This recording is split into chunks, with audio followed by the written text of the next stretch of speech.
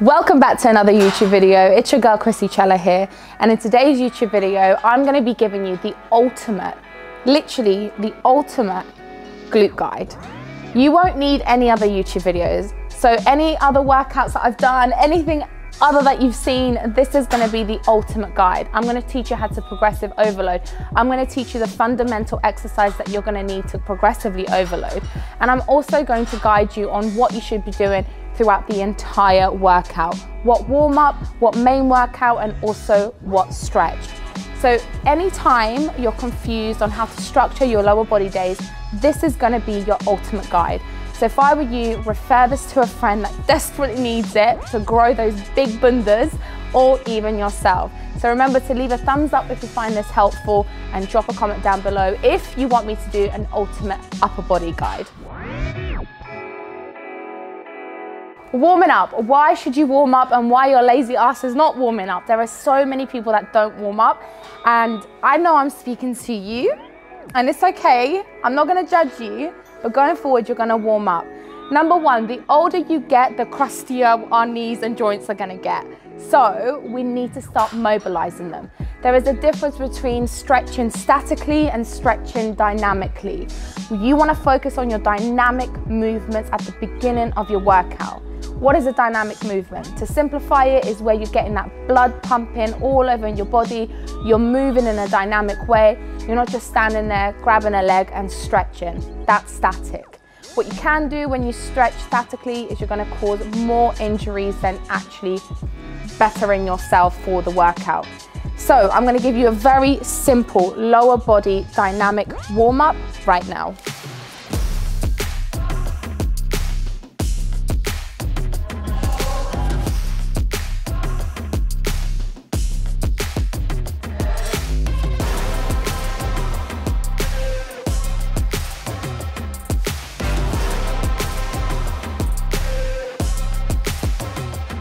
Every place in my body, the place where I find probably the most pain, it's, it's a small pain, is my hip. It tends to be my right hip.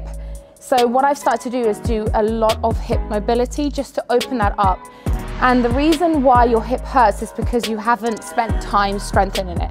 So if you want a whole lower body warm-up guide, let me know in the comments below and I can teach you how to strengthen your hips and movements I've been doing to strengthen it, so let me know.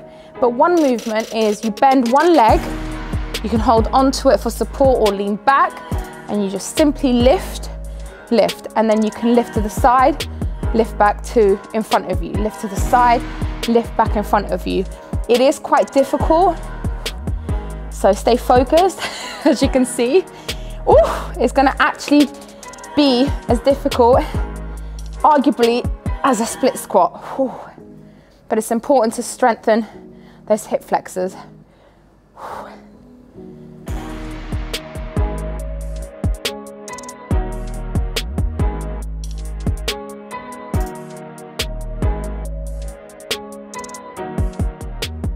Okay, so the first thing we're going to discuss is foundational moves. What are your foundational moves? They tend to be the biggest movement that you do arguably at the beginning of your workout. These are multi-joint and multi-muscular movements, also known as compound movements. To simplify it, the reason why you're doing them at the beginning is because they require the most energy exertion. So at the beginning of your workout, you tend to have much more energy than at the end of your workout. That's why you tend to leave those smaller muscles, which are isolation movements, at the end of your workout. So to simplify your structure, you would do your compound movements at the beginning, anything varies between one to three, three at max, depending on what you are doing. So for the sake of this video, I'm gonna show you my three top foundational moves, compound moves. Then you would go into a unilateral segment. A unilateral segment is where you do one leg movement. Or you would do a superset. That is where you increase volume and it's a form of progressive overload. If you've been doing no superset exercises and you feel like you're plateauing in your progression, it's time to incorporate some supersets into your workout. Once we've completed those supersets or unilateral movement, then you go into an isolation movement. That is the final segment of your workout. That's where you're hitting those tiny little muscles that actually tend to somehow hurt way more than sometimes the compound movements because they're hidden and because they're isolation movements, they just burn a lot more and you'll see what I mean at the end. So that is the structure of your workout. Now I'm gonna show you which exercises are my top exercises and how to perform them. First movement, we're gonna do a deadlift. Deadlifts. There are a variety of different deadlifts, but for the purpose of this video and my favorite, I'm gonna show you how to do an RDL. An RDL tends to hit much more of your hamstring and your glute area because there is a slight bend to the knee and also you have a constant tension. There's different ones, so you can do sumo, sumo, you can lift a bit more, I would argue, than an, a strict RDL or a strict stiff leg where it's just pure hamstring or a conventional, which is much more of a powerlifting move. So it depends what you're trying to target. The biggest problem that RDLs have is that it can cause a lot of lower back pressure and loads of lower back pain if performed incorrectly. But also another big thing to factor in, how tall you are, how long your ligaments are, your body proportions also play a really big factor on how certain movements feel. Okay, so with an RDL, we're gonna keep it simple. Your feet are gonna go beneath the bar, so they're gonna be parallel in front of you. A little bit wider than shoulder width apart, you don't want them completely shoulder width, a little bit wider. I would arguably say do not have your feet completely pointing straight. Your natural stance is gonna have a little bit of a flare. Also, women have bigger hips, so naturally our foot stance is a little bit wider and a little bit more flared. It's not always like this because women's hips are bigger than men's. Once you've got your feet positioning accurate, you're gonna come down, you're gonna bend your knees and you're gonna place your hands outside of your legs, not inside, not in front, I would argue outside. The reason being is because especially working with a large barbell, you wanna have a little bit more security. If your hands are in the middle, you're gonna lose balance. The barbell needs to be close to your shins. The reason being is because you're gonna have more accuracy when you're bringing it up and down. So you may incur some scratching here, just be cautious of that. When you're lifting away any weight from the floor, bend your knees to begin with and then pull the weight up. Your positioning should be your hips pushed back. So you don't wanna be completely up right like that and your glutes are going in. You wanna push them out. You want a slight bend to your knees, your core is gonna be tight, your shoulders are gonna be retracted, and then what you're gonna do is you're gonna travel the bar down and up. One thing to remember is this is a hip hinge movement. So your hips are gonna drive back. You're gonna drive back at all costs. What I want you to imagine is someone has stuck a bit of gum to the back of your heel and you're trying to take it off. Naturally, what will happen is your whole entire body will feel like it's going back, but you're gonna have control with your feet and your hips before bringing the weight back up. When the weight is back up, you are not gonna hyperextend and bring it forward, causing lower back pain. You are gonna gently bring the weight up, squeeze your glutes, come back down. Come back up, come back down. Each and every single rep should be with intention. So make sure you check your form. Right, let's get into it.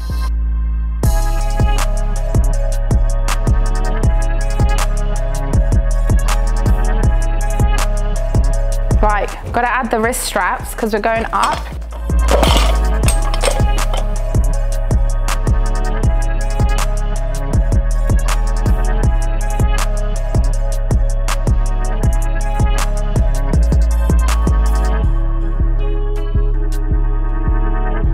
Okay guys, the next exercise we're gonna be doing is a hip thrust. Now, with hip thrust, the reason why I do hip thrust is because number one, you can lift a lot with it over time. Number two, it targets your glutes so significantly and when performed correctly, the progressive overload that you can achieve with a hip thrust is insane, like it's incredible. I feel like you can make more progressive overload with hip thrust than you can with, let's say, a barbell squat. Squats are also way more technical and they require a lot more practice and practice and practice. With hip thrust, you can simplify it and you can just make it work for you. One thing I will say is, after years of doing hip thrust, one thing that I've started to do is I've started to elevate my feet and I have found it targets my glutes so much more. So I put my back on a standard bench. I think all benches are quite standard height, but then by elevating my feet, it gives me more range without sacrificing my form too much and interfering with my lower back. So I'm gonna show you that setup because I think that set setup has absolutely changed my glute game and I can't gatekeep. I've got to share that with you because you're gonna thank me later, honey. I'm gonna grab two 20s. So I'm using kg.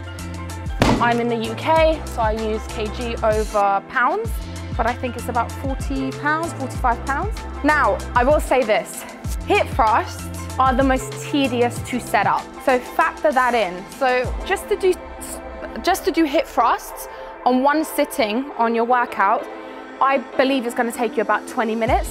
So if you're tight on time, do not do a barbell hip thrust instead, grab a dumbbell and thrust it. If you do have time and the luxury of time, hip thrusts with barbell are the ones to do. Barbell pad is always a must. Bring in the barbell centralized onto your hips. The setup of your back should be beneath the band of your bra, so underneath your scapula. That's where I want you to position your back. You're gonna bend your knees onto the elevation, just like so. You're gonna grab the barbell, make sure that you don't have your hair down like I do, that it's gonna like pull you back. You're gonna hold the barbell and you're gonna bring it up, just like so. Position yourself in a comfortable position, tucking your chin in, thrusting the weight up.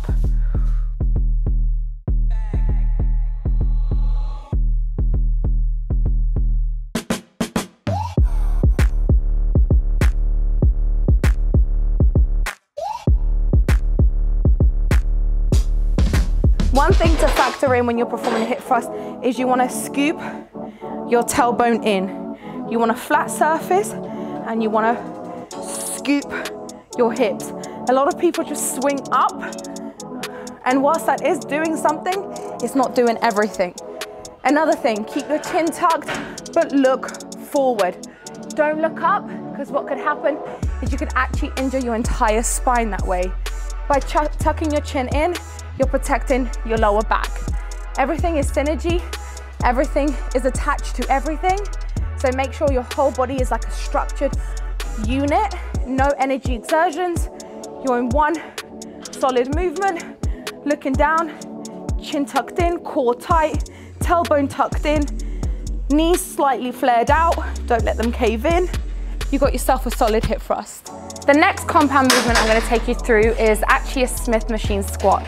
Now the reason being is because I feel like with the Smith machine, you get a little bit more precision in targeting a specific area. So a squat is a squat. It's a compound movement, multi-joint movement. You're gonna target multiple muscles. However, with the Smith machine, it, I can afford to lean a little bit more forward, which naturally will target your glutes much, much more than an upright squat. The position of the bar is really significant in this movement top bar, you're gonna target a little bit more of your quads. Lower bar, you'll target a little bit more of your glutes. That's what I feel anyway. Again, everybody is different.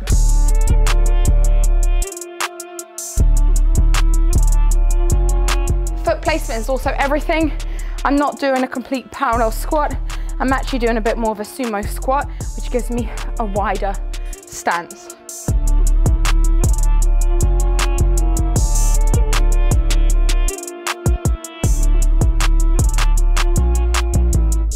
We're on to single leg movements. Why are single leg movements so important? Number one, it intensifies your workout. So you're using so much energy to perform the same movement twice. So that's one thing to factor in. Number two, it's perfect for any imbalancement. Number three, as women, you are more prone to an ACL tear. That is a tear in your ligaments. The reason being is because unfortunately women, women don't suffer enough with our periods and menopause and everything else we have to go through, but women are more prone to ACL tears. A great way to strengthen your ACL is by performing single leg movements to strengthen that area. So my top two single leg movements that are gonna target your glutes so much more are the reverse lunge with an elevation to give you more depth and a low platform split squat. You can do a high platform, you can do a low platform.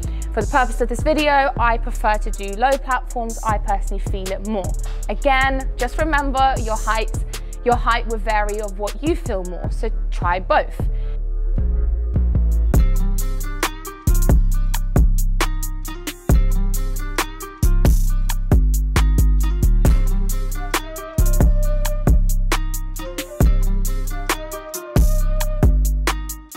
This is a very taxing exercise because,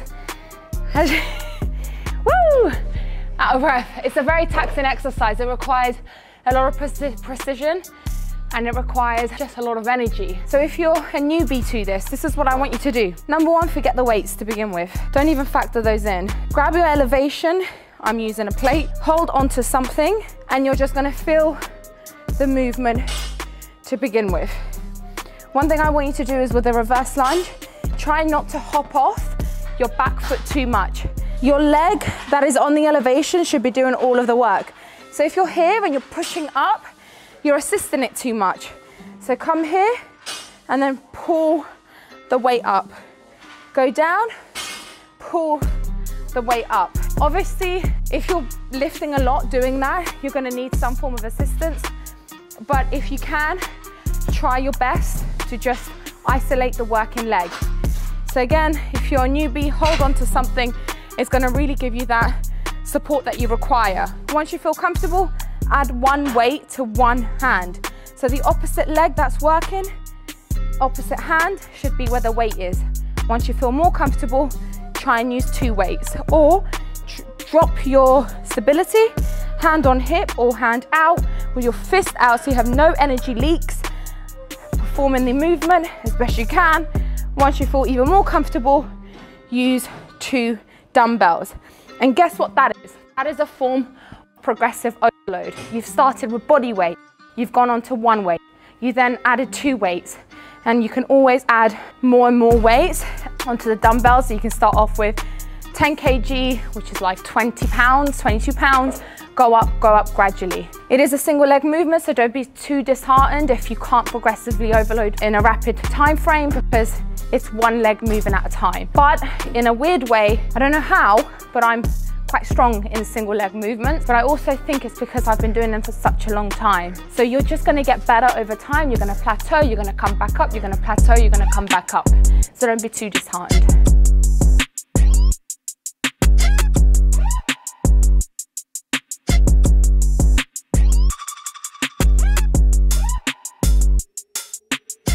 The last exercise that we're going to be doing is an isolation movement. Now, your glute is comprised of three fundamental muscles, the medius, the maximus, and the minimus. To make it simple for you, certain exercises will, will target certain areas.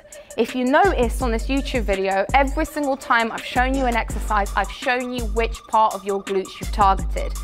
So bear that in mind if you want to target a specific area, go back, have a look at the video and see which exercise you want to use the most. With that being said, I don't want you to just focus on one exercise and you think that's going to be enough. With any part of your body, it should be trained in harmony and in balance. It's not just about growing your glutes, it's about strengthening your glutes to enable you to move better. It's about working on your core so your core actually has the stability it requires for you to do day-to-day -day movements. It's about training your upper body so you have perfect symmetry. All these are big factors and that is exactly why I will never tell you to just train your lower body.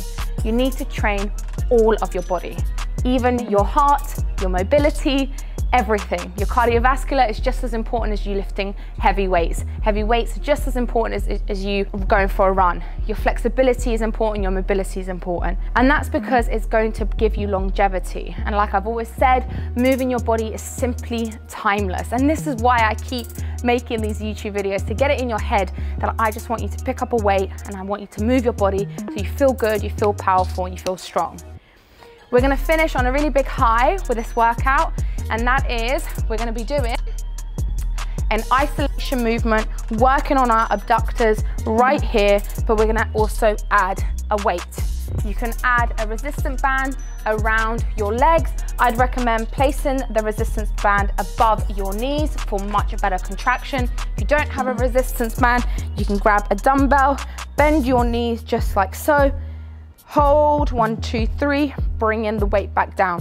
Hold, one, two, three, bringing the weight back down, just like so. Another way to do it is keeping your legs straight, but bending your foot inwards and working your abductor like so. Try and keep the weight high and not too low. You wanna keep it high at all times. You can use a cable machine for this. You can use a resistance band, ah, sorry. or you can use a dumbbell. Whew, that's burning.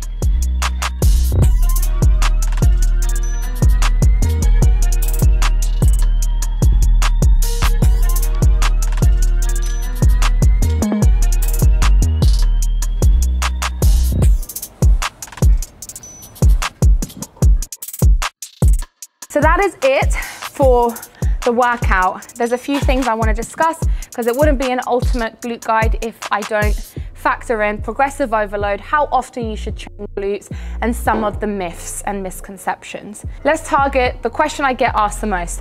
How often should I train glutes?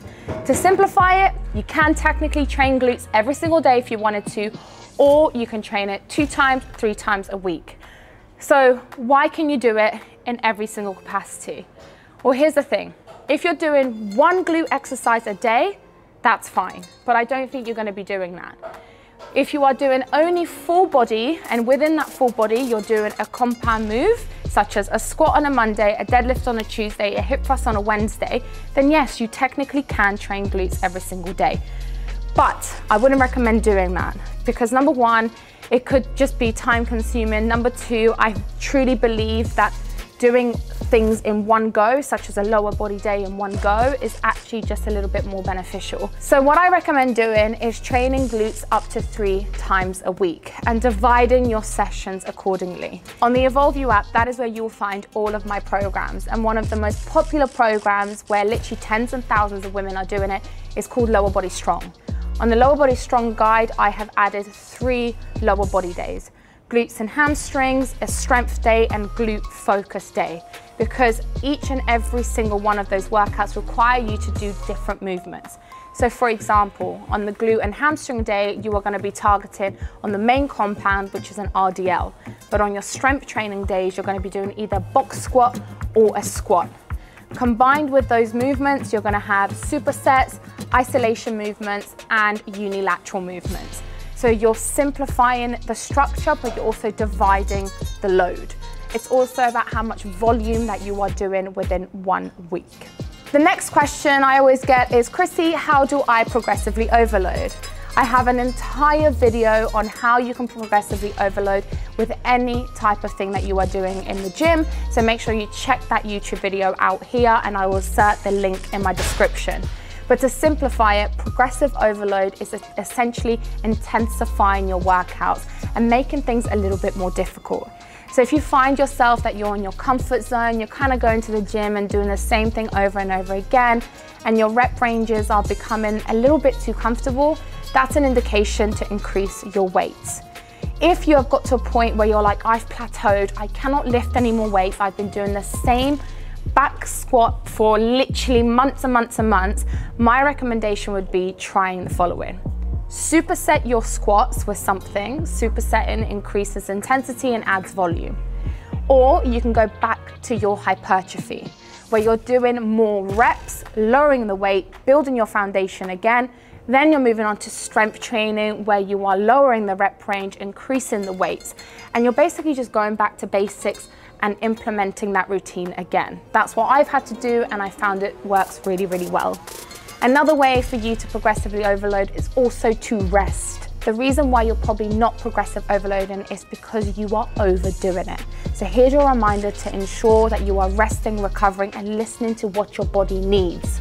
So that's a really important one. I truly hope you found this video so helpful, so insightful, and anything I said, I know I spoke a lot, but there's so much information that I just had to simplify for you.